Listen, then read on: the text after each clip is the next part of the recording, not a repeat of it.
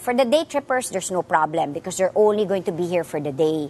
But what I'm worried about are those that booked um, in establishments that are not inside the that are not included in the list.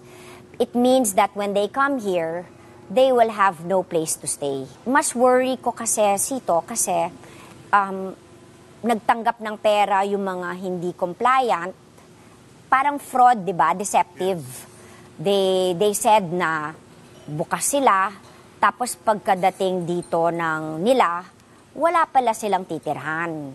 So, yun ang worry ko. So, we've been actually informing the public through the, um, through the show, through website, through Twitter, through all forms of social media. And we've actually published it already that only those in the list will be allowed to reopen. Now, this is very important because we don't want tourists to come and then after that, wala pala silang titirhan. At kawawa naman sila.